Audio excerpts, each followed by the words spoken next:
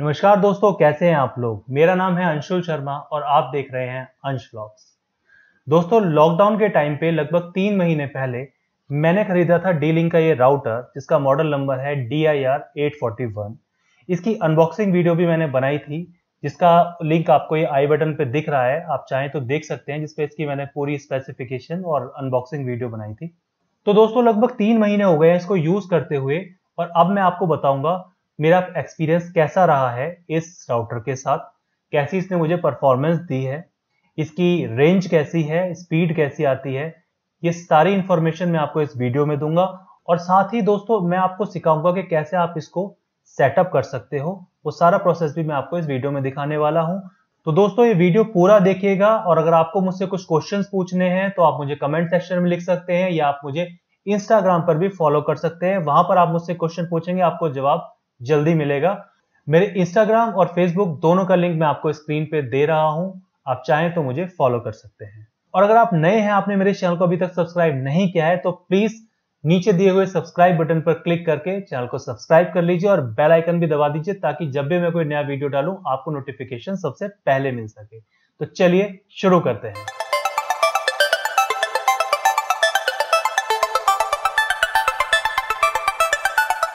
तो दोस्तों, सबसे पहले मैं आपको ये बता देना चाहता हूँ कि ये जो मेरा रिव्यू है, ये मेरे खुद के एक्सपीरियंस के आधार पर है कि मैंने जो एक्सपीरियंस किया है, इसमें मैं अपना पर्सनल एक्सपीरियंस ही आपको शेयर करूँगा। हो सकता है कि आपका एक्सपीरियंस अलग हो, लेकिन जो मैंने फील किया है, वो मैं आपको इसमें एज ए कस्टमर रिव्यू बताने वाला हूँ। तो दोस्तों लॉकडाउन के दौरान मुझे वर्क फ्रॉम होम मिला और मुझे घर पे इंटरनेट लगवाने की ज़रूरत पड़ी। तो मेरी रिक्वायरमेंट थी, वो ये थी कि मैं अपने ऑफ़िस का काम कर सकूँ।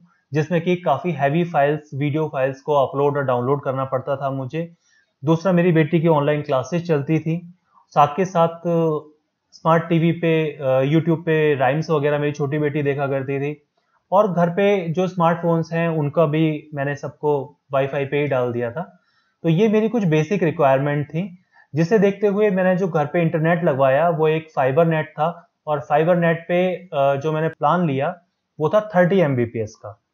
तो दोस्तों, इस सब रिक्वायरमेंट को देखते हुए जब मैंने राउटर लिया तो यकीन मानिए मुझे अभी तक भी एक ही साथ मैं अपना काम भी करता था स्ट्रीमिंग भी होती थी ऑनलाइन क्लासेस भी चलती थी, और फ़ोन पे भी यूज़ होता रहता था, और साथ के साथ मैंने घर का जो सीसीटीवी कैमरा है, वो भी वाईफाई पे डाला हुआ था।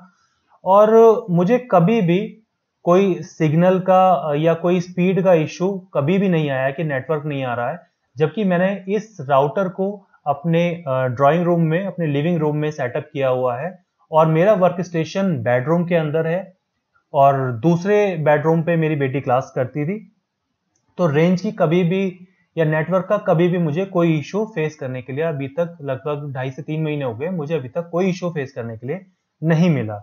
रही बात स्पीड की तो स्पीड के लिए मैं आपको एक डेडिकेटेड इसमें टेस्ट करके दिखाता हूँ। ड्यूल बैंड है तो दोनों बैंड पे मैं आपको यूज़ करके दिखाऊँगा इसका स्पीड टेस्ट कि 2.4 पे कितनी स्पीड आती है और 5 पे कितनी स्पीड आती है पास में, फिर बेडरूम के अंदर फ़र्स्ट फ्लोर पे और सेकंड फ्लोर पे। मैं आपको ये स्पीड टेस्ट करके दिखाता हूँ। तो आइए करते हैं स्पीड टेस्ट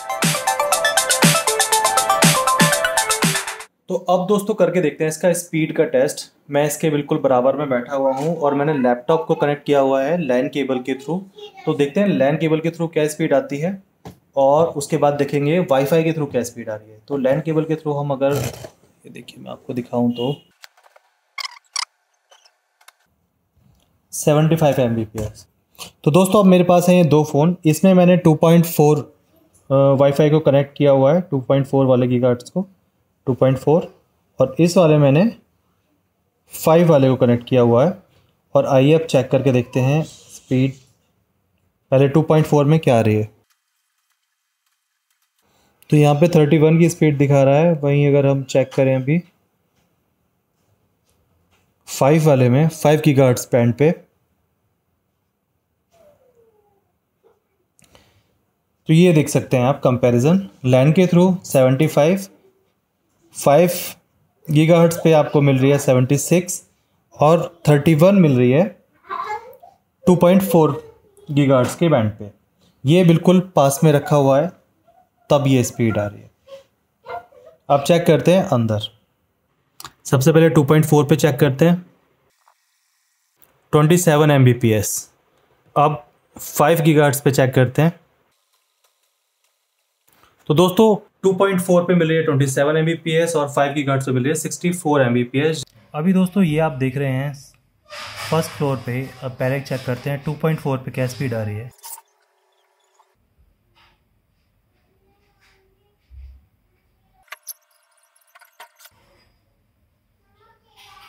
दोस्तों, अब हम सेकंड फ्लोर पे और यहाँ पर चेक करते हैं 2.4 पे क्या स्पीड आ रही है।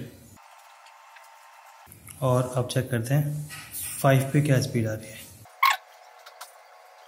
तो जैसा कि आप देख सकते हैं सेकेंड फ्लोर पे 5 की स्पीड बढ़ गई है और 2 की स्पीड कम हो गई है। तो इस तरीके से आपको इसकी स्पीड मिलती है। अब दोस्तों, बात करते हैं आपके कुछ सवालों की जो आपके, आपने मुझे कमेंट सेक्शन में भेजे थे। एक बहुत ही कॉमन सा सवाल था जो कि काफ़ी सारे लोगों ने मुझसे पूछा था कि डी लिग के दो मॉडल के कंपैरिजन में, एक तो ये वाला D I R eight forty one और दूसरा था D I R eight twenty five इन दोनों में से कौन सा बेस्ट है?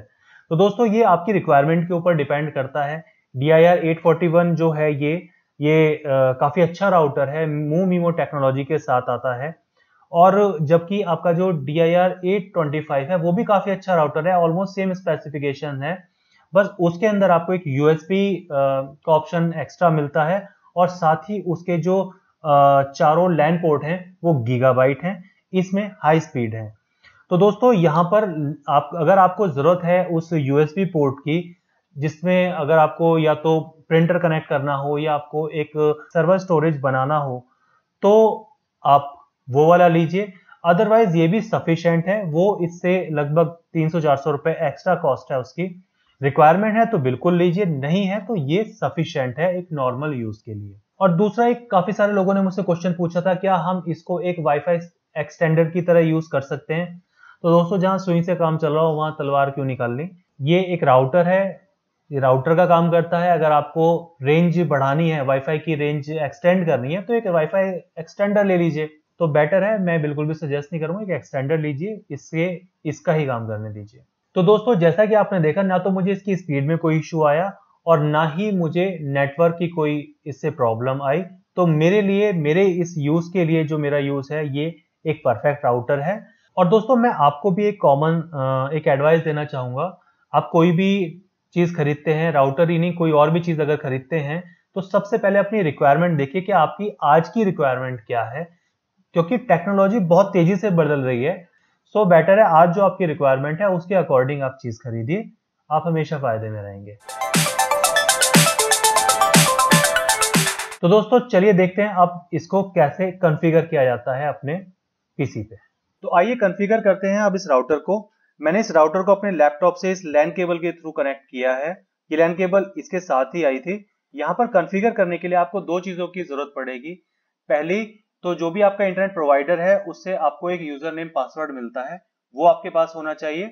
दूसरा, ये, इसके बॉक्स के साथ ये कार्ड आपको मिलता है। इस कार्ड पे आप देखेंगे तो यहाँ पर एक आईपी लिखी रहती है। आईपी और एक एड्रेस इन दोनों में से कुछ भी आप डाल सकते हैं।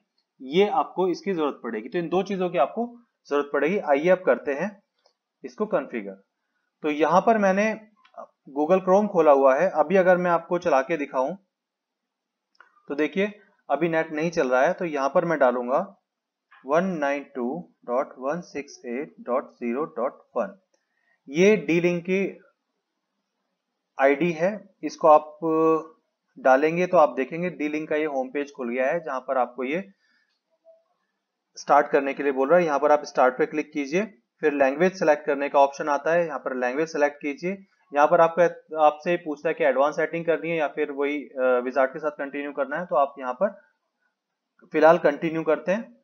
और कनेक्शन मेथड आपका कनेक्शन कौन सा है तो हमारा ये वायर्ड कनेक्शन है।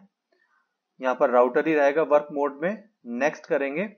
यहाँ पर आपको पूछेगा कि आपका कनेक्शन टाइप है क्या? ये आप अपने इंटरनेट प्रोवाइडर से भी पूछ सकते हैं कि कनेक्शन टाइप क्या है। तो जैसे कि मेरा है ट्रिपल पी ओ ई अब यहाँ पर यूज़र नेम और पासवर्ड जो कि इंटरनेट प्रोवाइडर से हमें मिला है, वो हमें यहाँ पर डालना है। यहाँ पर पासवर्ड डालेंगे। और नेक्स्ट कर देंगे। नेक्स्ट पे जब आप आएँगे तो यहाँ से आपको ये कॉन्फ़िगर कराएगा 2.4 गीगाहर्ट्ज बैंड को। इन दोनों को आप अलग अलग कॉन्फ़िगर कर सकते हैं। यहाँ पे आप इसका नेटवर्क का नाम लिखा हुआ है पासवर्ड है आप चाहें तो नाम चेंज कर सकते हैं, जैसे कि मैं यहाँ पर डाल देता हूँ 2.4 इंटरनेट पासवर्ड में यहाँ पे दूसरा डाल देता हूँ चेंज कर देता हूँ, और नेक्स्ट करते हैं, अब ये 5 गीगाहर्ट्ज को यहाँ पे कॉन्फ़िगर करा रहा है सेम हम यहाँ पर भी करते हैं।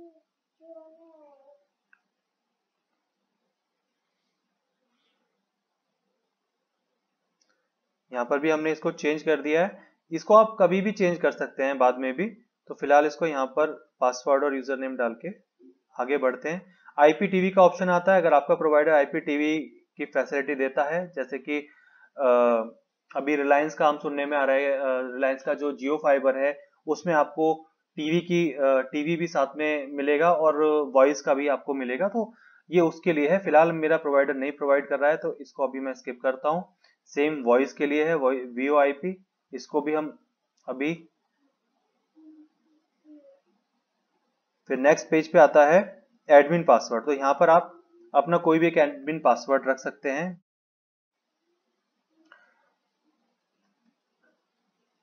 जो भी पासवर्ड रखें, आप याद रखिएगा। नेक्स्ट ये सारी समरी बता रहा है जो जो आपने डाली है। और इसको जब आप करेंगे अप्लाई तो अब ये लगभग एक से दो मिनट का टाइम लेगा और आपका नेट रेडी है यूज़ करने के लिए। ये देखिए सेटिंग अप्लाई हो रही है।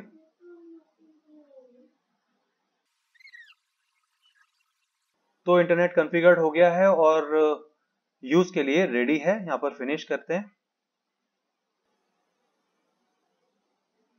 अब देखिए, यहाँ पर ये हमारा नेट चालू हो गया है।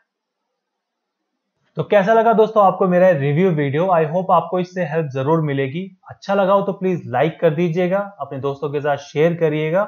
और अगर आपको मेरे से कोई क्वेश्चन पूछना है तो आप मुझसे कमेंट सेक्शन में पूछ सकते हैं। आप मुझे इंस्टाग्राम पर भी फॉलो कर सकते हैं। वहाँ पर अगर आप कोई क्वेश्चन पूछेंगे, आप तो आपको जवाब जल्दी मिलेगा।